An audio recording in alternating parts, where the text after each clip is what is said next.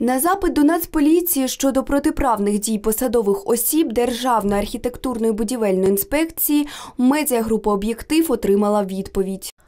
Повідомляємо, що у провадженні Шевченківського ГНУП у Харківській області перебуває кримінальне провадження за фактом протиправних дій посадових осіб Департаменту Державної архітектурно-будівельної інспекції у Харківській області. Проведення досудового розслідування доручено слідчому Євсюковій, яка проводить комплекс необхідних слідчих дій, спрямованих на ретельне вивчення всіх обставин вчиненого кримінального правопорушення.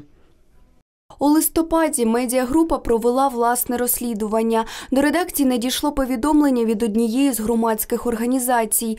Там закликали звернути увагу на одного з працівників інспекції Сергія Марченка.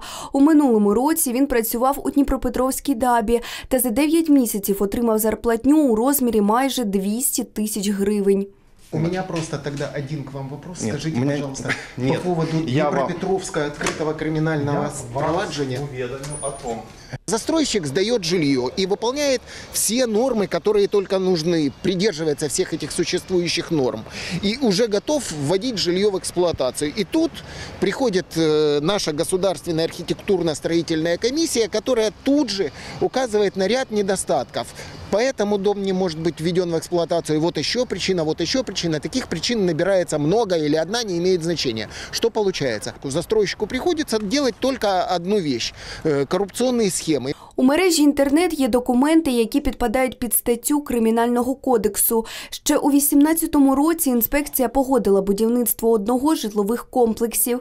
Під довідкою підписався головний інспектор Харківської ДАБі Василь Осадчук. Є ще один документ, де прізвище тієї ж людини, але здача у експлуатацію цього ж об'єкта заборонена. На першому там моя підпис, друге там видно незброєним оком, що підроблено. Ну так незброєним оком видно, що щось там намазюкано. У відповідь на інформаційний запит також повідомили, досудове розслідування кримінального провадження триває. Стан проведення розслідування взято на контроль керівництва головного управління Нацполіції в Харківській області. Вікторія Яковенко та Юрій Чорнобук. Медіагрупа Об'єктив.